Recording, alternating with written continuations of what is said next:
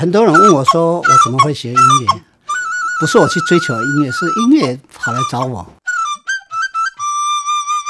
我生长在彰化县秀水乡乡下，我同学啊的姐姐是彰化女中的古笛队，哎，哦，我就听她吹，哎，觉得这个乐器蛮好听的，啊，没想到就这样喜欢上了，后来就变成了我的事业，我的志业。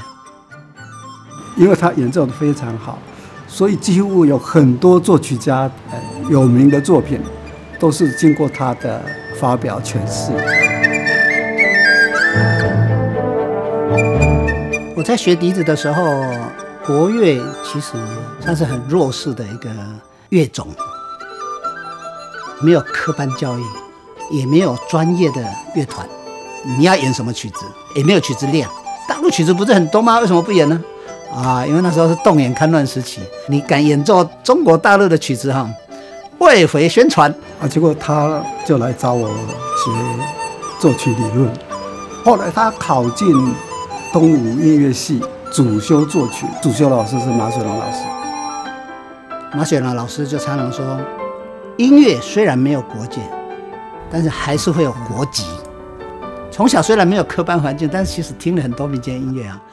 它已经流进我的血液里面了。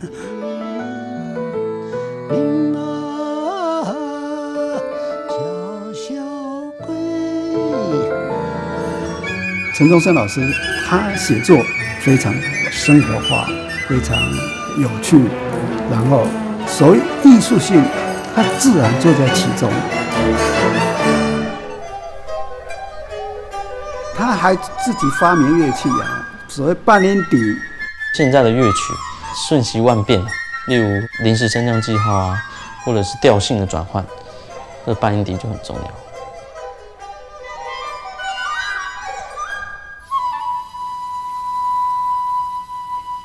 像箫的推广也是啊，是他先带动这个整个我们台湾学习箫的一个环境。原本只要你能够会吹，已经算及格。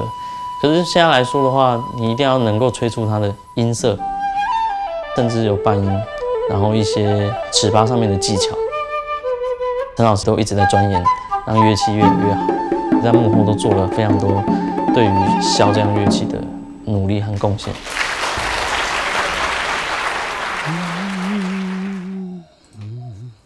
我现在在写教材，可能预计要十年才有办法讲完我的理念。